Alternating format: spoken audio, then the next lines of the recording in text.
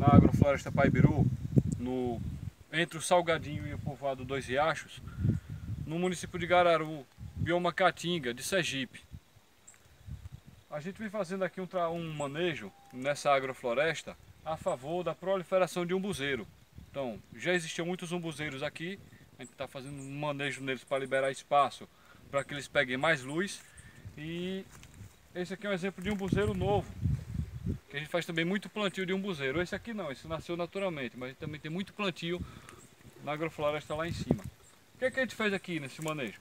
As catingueiras estão aqui ao redor dele, a gente cortou alguns galhos delas, elas não foram retiradas completamente, como vocês estão percebendo.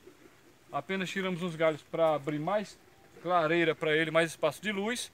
E usamos esse material que foi tirado da, da desse manejo e, foi, e colocamos aqui na base do museiro. Então duas coisas favoráveis. Mais luz para ele e matéria orgânica no solo.